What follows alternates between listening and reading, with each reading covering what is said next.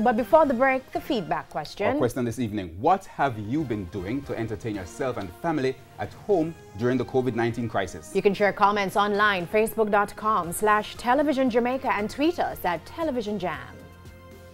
Please stay tuned. Primetime News returns right after this break.